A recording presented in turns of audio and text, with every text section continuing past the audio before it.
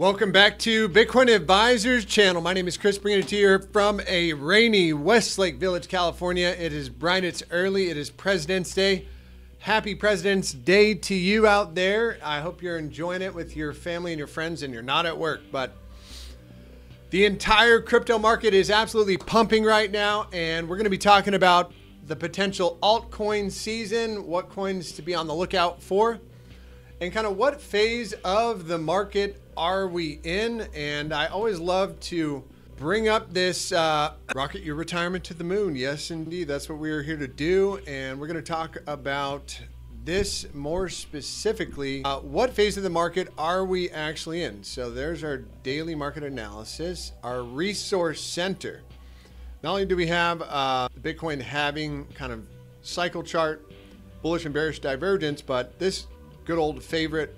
It's called the Wall Street cheat sheet. And I don't know if you guys can see this here, but the question is what phase of the market are we in, right? We talked about depression back there, disbelief. And uh, I would say we are entering kind of the hope phase. Then you got optimism. Then you got the phase where everybody's telling you to buy more, buy more, and your gardener is telling you to do the same thing, right?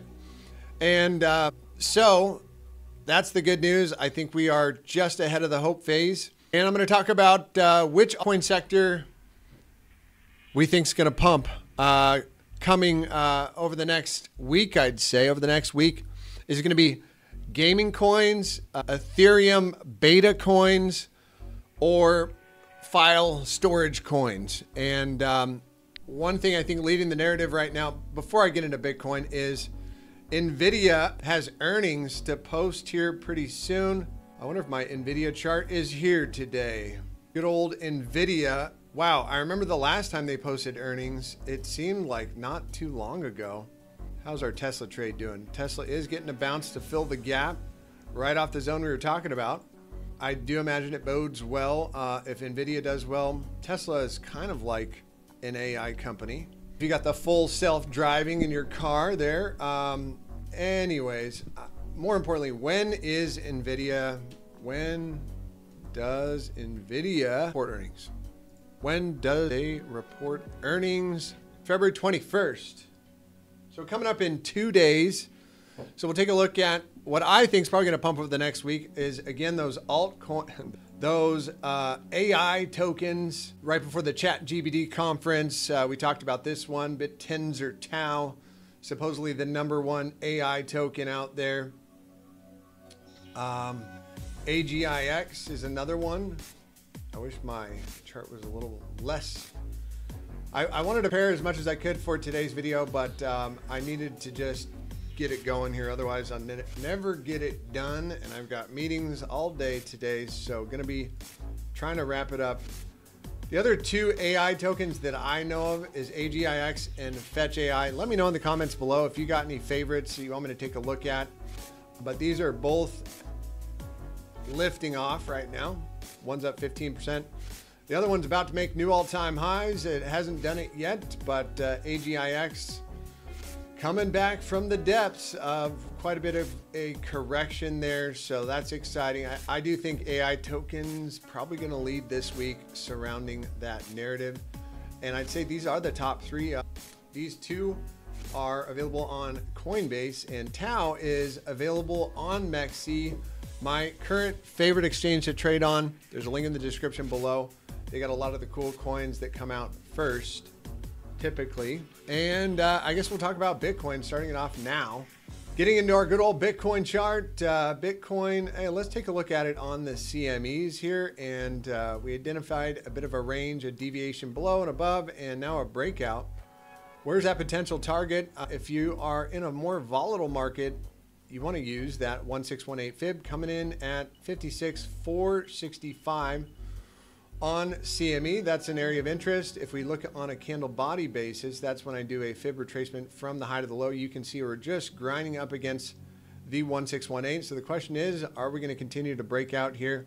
Momentum uh, did get up in the critical zone, showing us that the market is trending and there's a lot more room to go. And speaking of that, why do we think there's more room to go in crypto land? Well, Soaring demand for Bitcoin ETF spurred a record 2.5 billion in inflows, led by uh, BlackRock's Bitcoin ETF called IBIT. And it shows Bitcoin ETF received most most of the week inflows amassing 1.6 billion in capital from February 12th to the 16th. And then, uh, interesting, I found this one breaking uh, out gold ETF increases gold outflows. So people are selling their gold and buying some Bitcoin. Just look at the picture there. While inflows into Bitcoin ETFs rise massively. Another good tweet here uh, from the Bitcoin archive. Justin BlackRock ETF now holds over $5 billion worth of Bitcoin. A little math on that one, and uh, the, the supply is just getting taken from us, taken away.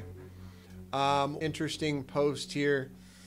This is a picture of what happened to gold after the gold ETF in 2004. Gold runs from 300 bucks to 1900 bucks. I wonder if that's going to be a picture for Bitcoin's chart. And um, yeah, let's get back into that Bitcoin chart. So, taking a look at the CME's momentum will flip back to the upside above 52,739. Um, but as far as I'm considering, this is just consolidation at a high level before another breakout. You know, could we come back and retest a little bit? Yes. Uh, and I think actually this PMARP is a good, if the PMARP loses this white moving average, very likely we do get that little retest to the downside. Uh, looking at spot price action, and I wouldn't mind it coming all the way down to 45,000. Would set that in motion for me well, if we look at the amount of bearish divergence that we have going on here, I'm just going to take this off, make this a little bigger. So what do you have here? Uh, one, two, three. So how would we confirm this as a local high? You'd want to close back below 50,000 bucks.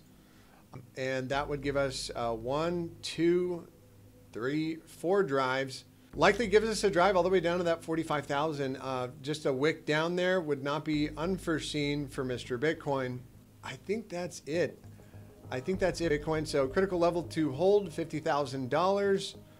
Um, let's see, is there anything more just scratching my eyeballs here to see on Bitcoin? Because you know, it's kind of it's kind of uh, boring. I mean, up and only up, only up for Bitcoin. Uh, not a lot of excitement here four hour time frame is going to curl over here and print.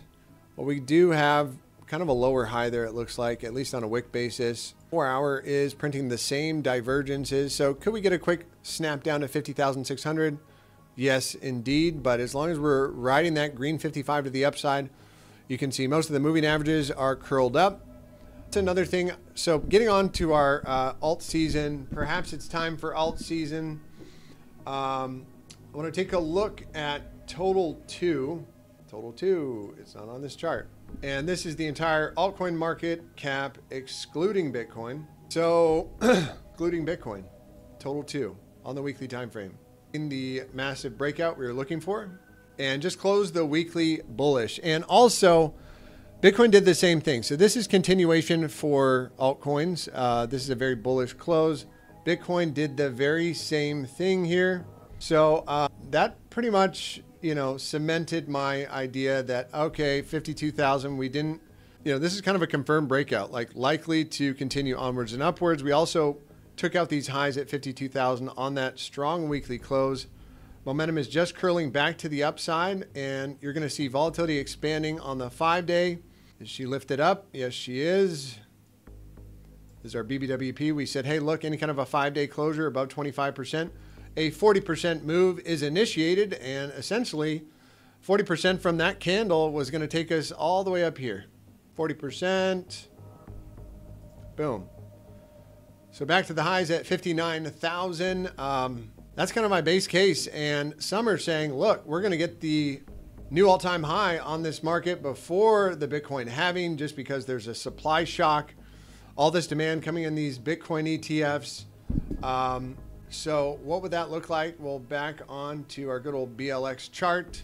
We have the Bitcoin halving coming in here. Um, I think we're down to, um, we are down to, where is that little chart? Bitcoin halving countdown. Come on. There it is. How nice is it is it that we have a monetary system that can be traceable and we all know what's going to happen. Happen. Let's see. Check out the watch watcher guru. Uh, how many days left? 58 days left and the block reward. So interesting fact. Right now, uh, we're at six and a quarter Bitcoin per block, uh, which is roughly 900 Bitcoins a day. And that's going to get cut in half to 450. Yeah, in 58 days from now. We've been talking about it all year long. What happens going into the halving? You typically see a big rally. Now, something a bit of an oddity here today. Uh, well, in past prior cycles, we've never made a new all-time high before the halving. Typically, you get that sell-off, the 61, the 618, that 30% correction, and that's kind of what we were looking for. But um, you know, every time we had a little sell off here, I think that one was 30, little sell off. I think that one was 40, what, how much was that? 48%, 34% there, 60% there. So we have not had that uh, pre halving correction. So maybe, and from what I can see, there's not a whole lot of sell orders hanging out uh, at the top, at the top here. Uh, block capital, actually going to check in. It's better to check in for yourself. Hyblock Capital. Let's let's what is it? Check but verify or better to verify than just assume somebody else you heard on the internet is telling the truth, right? Custom dashboard. No, I want to take a look at the liquidations heat map. Oh, so looking at the seven day time frame, those major sell orders coming in at 56.8 and then 62.5. 62.5. Interesting. Let's take a on the one month chart to see if there's anything brighter. Look at the bright yellow down here at 41,000. Uh, we got some at 47.4 and a bit here at 50,000. So remember, the market maker is going to push price to where the most liquidity is, but also they want to take advantage of as many people as possible. So right now, for them to push it to the upside, maybe they want to suck more people in and then we start to see these bright yellow uh, things start to dissipate. You know, people either take their positions off, or uh, yeah, essentially that that's what, what it would mean. So as price pushes higher, got a nice bright level at 53, 53.8. I mean, that FOMO is really going to start to kick in here, guys. So needless to say, let's get into some of the altcoins. And I'm just going to quickly go to CoinGecko. CoinGecko, which I've actually feel a bit more useful as of lately in researching coins and whatnot. Except for they always make me verify that I'm human. I, I don't know about that. I don't. I don't necessarily love that. But if we go and look at oh AI coins, boom, Bittensor, Rents, Akash Network, Singularity, uh, Corgi, Echelon Prime, Ocean, I know those ones are really starting to break out. Uh, Ocean uh, and this PAAL AI is supposed to be pretty hot. AIOZ network also supposed to be pretty hot. But again, do your own research as you go farther down the anything outside of Bitcoin and Ethereum, right? Your risk level goes up quite a bit, but where there's more risk, there is more reward. So starting it off, Bittensor only up 11% in the past seven days. Render 28%. Fetch up 37%. Akash up 27% in the last 30 days. And Singularity, that's the one we went over. AGIX, 73%. Um, so some of these AI coins really starting to wake up. PAAL up 79%. Whatever that is, 45. Ocean Protocol, 45% in the last seven days. So I really don't like to FOMO into these type of things, but where there's more FOMO, there's always more FOMO. No, it's something, you know, when the markets are being irrational, they can always be more irrational. Um, so went over some of those coins. I'm going to jump into ETH. ETH is just ripping to our target to the upside. I mean, guys, congratulations if you took that trade. Uh, we definitely got this one, uh, nailed it to a T as soon as we broke out here. It was a bit slow to get started. And why is Ethereum lagging Bitcoin? Uh, I don't know, but I imagine that it's going to start to. I'm just going to clean this baby up. Clean the. It's really going to start to uh, heat up here as um, the FOMO is going to kick in. And uh, that fear of missing out. Fear of missing out. I do think uh, Neutron is probably putting a short term pullback after a massive rally, right? Another one that got away from me was Casper. Let's check in on IMX. IMX. And the ones I like, I mean, we're, we're just getting up to the all time highs, I think. Let's just double check here. IMX, IMX. But the ones that haven't new all time highs that, um, you know, have been around for some time that are supposed to be good projects. You know, already you can see this one's a $4 billion market cap.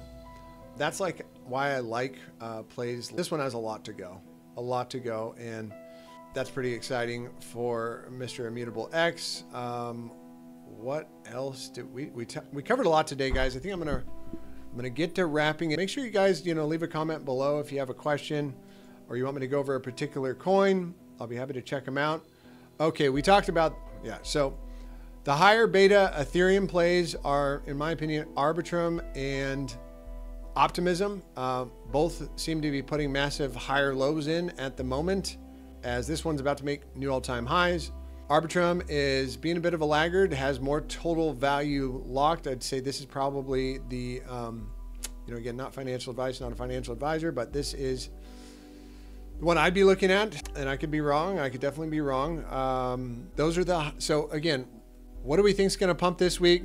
I think they're all going to pump. Honestly, they're all going to pump alongside Bitcoin, especially if Bitcoin gets, you know, back above 53,000 really things are going to start to move. Um, but the short-term target on Bitcoin, you know, may have been hit again on a candle body basis. We're at the 1618. We're just grinding up there. And what I do like though is when it's grinding up there, uh, you know, at the top of the uh, bullish control zone, you can get that last splurt up and you know get it up here. That's that's when you know really big tend to happen. So something, you know, momentum is going to flip down. We're kind of in, it's hard to pull the trigger on anything at these high levels, but I think uh, retail involvement. So let's do a Google search. Google searches of Bitcoin. So uh, real search trends, Google trends. Yep. Bitcoin. So over the past 12 months, no, we don't want to be in India, worldwide. So we're still coming from a low level. That's the the trajectory past five years. 2020, I, I, mean, when you start to sit up here, that's when the market's getting overheated. So you can tell retail in, um, well, look at El Salvador, Nigeria, Australia. It looks like America hasn't caught on yet. And uh, that, I mean, I just talked to one of my high school or childhood friends from playing baseball at the gym today. Just sold his house, and he was like, and I've been I've been feeding him the you know gospel for you know past couple of months. I just saw this kid, you know, and you know again we were childhood friends. He's like, yeah, man, I sold my house. Oh, I just put it all in CDs at four percent. I'm like, dude, are you kidding me? You're that far behind. You're you're my age. You don't know what is. You're, you, you know, and you're buying CDs. Craziness. Craziness. Okay. Um, and I guess we'll go over a couple of storage coins. I think, um, you know, one that I had my eyes on actually, ICP, which I think is a storage coin. They do storage, a whole bunch of stuff. It's like, but one of the things that they do uh, is, anyways, this one on, from a charting perspective, where's my ICP here? Just from a charting perspective, it does look like it's about to break out on the daily. Again, the RSI probably going to reject the bullish control zone on the first pass, but that next kind of higher low on the daily uh, very likely busts on through. And then this one has a lot, lot of room to grow, right? Visit the all-time high. Oh, what was that? 200, how many percentage gain is that? Wow, I'm not even going to say that. 20,000% gains. I don't know if that's realistic if we're going to make new all-time highs on Mr. ICP, but I heard it's quite a highly esteemed piece of internet technology. Um, what's important, guys, at the end of the day is, you know, at some point, don't confuse brains with the bull market. We're in the bull market now. Everybody can make money. Everybody can pick, throw a dart at the board and pick something and probably make money, right? But do you know when to take your profits? And that's what we'll be covering on the channel when to exit, how to exit, and um, Like and subscribe if you enjoyed some of the content today. Post a comment below. And I guess if we're going to talk about Filecoin, so remember the three narratives that are probably pumping right now. Filecoin up 11%, really about to break out pretty gnarly here. Um, and once it gets above this level, I'd say even even these highs over here, it's probably going to send. Filecoin is like one of the numbers, number one storage, storage data availability. You know, there's three. Th- I saw a really interesting interview from Arthur Hayes saying, look, like, what's the future going to be? Bitcoin, AI, crypto, blah, blah, blah. Like, there's going to be so much out there. And if you're AI, you don't care what government or country you're in. If you're a robot, right? And all they need is access to electricity and storage data. And with all the new AI stuff out there, it's pretty incredible what some of the AI generations are doing. They need storage data, so probably a narrative to keep our eyes on as well. Um, so is it going to be gaming? Is it going to be beta plays on ETH? Or is it going to be storage coins? We didn't even touch on any gaming coins, but uh, I'll just pop a couple up here that uh, I do think are probably going to do well or continue to do well. Super, uh, might have kind of missed this one if you didn't get on it earlier. Super up uh, quite a bit, but just curious to see what Super's market cap is. And uh, Mr. Superverse, part of EllioTrades' gang, and Alex Becker, I think, has some some kind of involvement there. Oh, this pixels super. Let's jump into the superverse, the metaverse. I do like that it's down, but on the one year it's not. Max. So does it have room to grow? At a $500 million market cap, I do think so. Also want to take a look at the circulating supply and the max supply of coins. So we're talking about uh, 450 million. So about 50% in circulation right now out of uh, almost a billion tokens max supplies. So you know, they still have some room to dump on us, but um, I, I really like the narrative, and I hear some very exceptional things are coming in the winds here soon on this one, whatever that is. And next up, next up, ooh, I got an appointment here.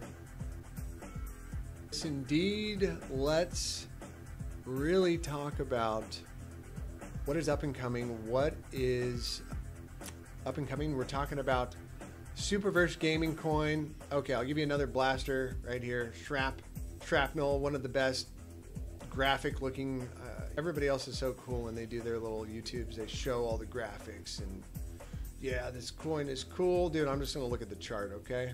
Low market cap, probably the most comparable short-term target up to here, but I would not be surprised to see this one make some new all-time highs this year. A parabolic blow-off top up at 122 would be the ultimate target for this one. Um, you know, if you're going to buy and hold for the whole cycle, again, you know, higher risk, higher reward opportunities out there.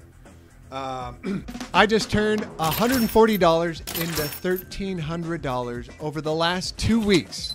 Yes, it's possible in the land of cryptocurrency. My name is Chris Mitchell. I am the CEO of Crypt Courses. And I'm bringing you this video because I'm going to give you some really good information on how to buy, sell, and trade digital currency. Now, you've probably heard about a lot of people making a lot of money in crypto, but you don't feel safe or intelligent enough to make the investment. That's why I created Bitcoin 101 how to stack sats using technical analysis. It's the crypto trader's dream to starting your crypto journey it's absolutely free. All you gotta do is click on the link in the description below and we will get you your free guide today.